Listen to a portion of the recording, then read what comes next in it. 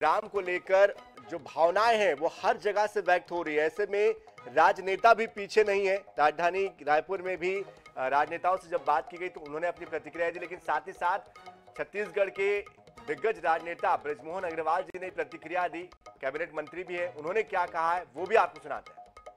रामलला की प्राण प्रतिष्ठा पूरी हो चुकी है और छत्तीसगढ़ के कैबिनेट मंत्री ने जो इसका लाइव प्रसारण भी देखा है, सर, अयोध्या का लाइव प्रसारण देखा जो ऐतिहासिक क्षण है, उसको लेकर क्या कहेंगे? प्राण प्रतिष्ठा पूरी हो चुकी है अब। हम सब सौभाग्यशाली हैं, हम सब किस्मत वाले हैं, हम सबको राम जी का आशीर्वाद है कि जो प्रभु राम की प्राण प्रतिष्ठा देखने का हमको सबको अवसर मिला है।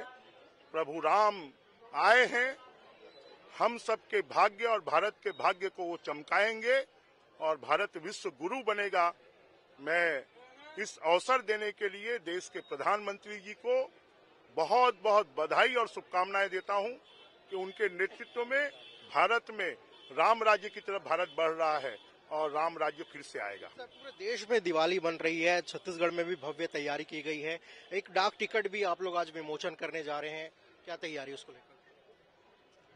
देखिए, प्रभु राम तो सबके हैं जन जन के हैं मन मन के हैं कण कण में प्रभु राम है। और ये जो सब कुछ हो रहा है, ये प्रभु राम की कृपा से ही हो रहा है और राम जी के चाहने पर ही हो रहा है।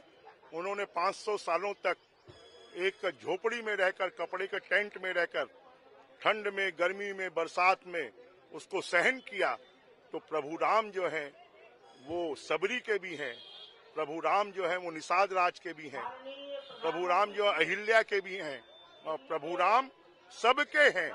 ये बात प्रभु राम ने इन साढ़े पाँच सौ सालों के इतिहास में बता दिया। संस्कृति मंत्री भी हैं। आप आने वाले दिनों में किस तरह के आयोजन जो है होने वाले हैं? अभी आज पूरे छत्तीसगढ़ में पाँच हज़ार भजन मंडलियाँ भजन कर रही हैं। 500 से ज़्यादा स्थानों तक में आज भव्य उत्सव मनाया जा रहा है। संस्कृति मंत्री ब्रिजमोहन अग्रवाल, जिनका साफ़ तौर पर कहना है कि आज जो प्रांत प्रतिष्ठा अयोध्या में भगवान राम की हुई है, वो ऐतिहासिक पल है। साथ ही उन्होंने कहा कि छत्तीसगढ़ में जो राम गमन वन प्रोजेक्ट है, उसको जो है पूरा किया जाएगा। कैमरा मैन इकराम के साथ स्वप्न गौरखेड़े आई न्यूज़ रायपुर।